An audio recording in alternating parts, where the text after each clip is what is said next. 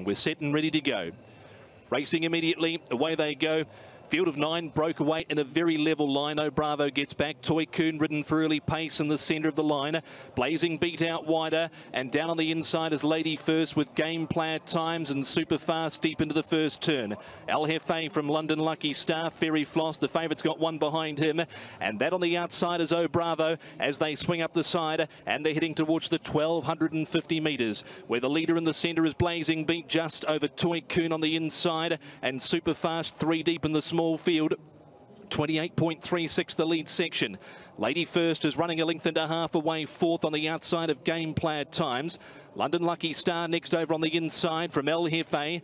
Oh Bravo's hooked out three wide and Fairy Floss, the favourite, is back last of all as they race down the back of the track to the 800 metres, only six lengths from top end to tail, and they really jam up. Toycoon, Blazing Beat, super fast, has been three deep, no cover on the pace throughout, and Oh Bravo's four deep down the side, followed there by Gameplayer Times. While all of that has happened at the 550, he's had a beautiful run through over on the inside from Lady First. They really jam up tight as a drum, and then came El Jefe from Fairy Floss, who's hemmed up in traffic, the favourite, and London Luckystar. Toy Coon, Blazing Beat, super fast. Oh Bravo down the outside. Gameplayer Times up on the inside. Don't want to be on the favourite at this point. He's still three lengths off the leader, who in the centre now, on the rail, I should say, is Gameplayer Times. He had a perfect run through, watched all the everything unfold around him, and he's been too good. The Brazilian bred gets on the board from, I think, Toycoon second, maybe in the centre. From down on the inside, uh, London Luckystar who ran on late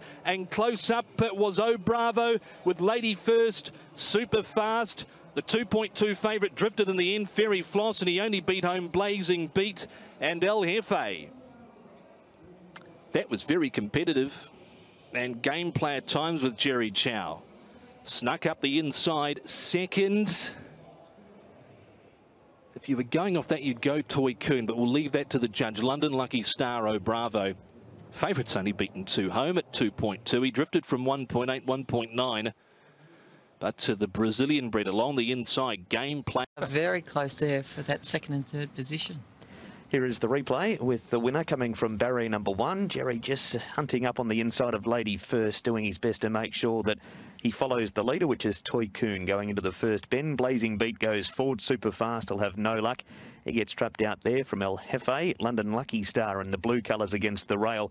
Fairy Floss is second last, and he's got the head up there. He Wants to fight Joe as he's eased off heels, and he'll keep the mouth open for a while. And Oh Bravo is last as they turn to the back. Jenny, it's a line of three, and this line of three are on the speed for a long, long way. Yeah, so you can see Blazing Beat with the head up there. He's quite eager and keen, and the horse doing it tough is super fast, so he's probably got a legit, legitimate excuse.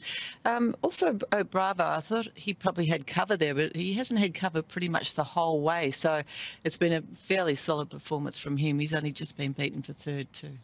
So we're nearing the end of the back straight now, and there's Bravo working up to join the line of three of Toycoon, Blazing Beat, and super fast Gameplayer Times, getting that perfect trip on the rail. Only about three or four lengths over them here. Lady First in the centre. Fairy Floss is the grey at the back with London Luckystar. He'll make ground on the rail. He'll follow the winner through in Gameplayer Times, and LFA comes to the outside. So again, as they turn for home, they're still pretty compact with Toycoon, Blazing Beat. Jerry looking for a run with the winner Gameplayer Times on the red cap. Toycoon just wanders up the track now under pressure.